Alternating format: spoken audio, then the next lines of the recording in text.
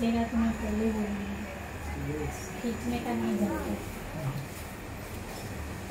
तो थोड़ा से करना हाँ।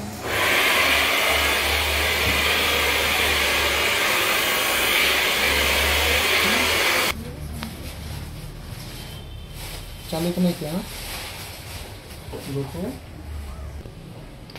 ठीक है।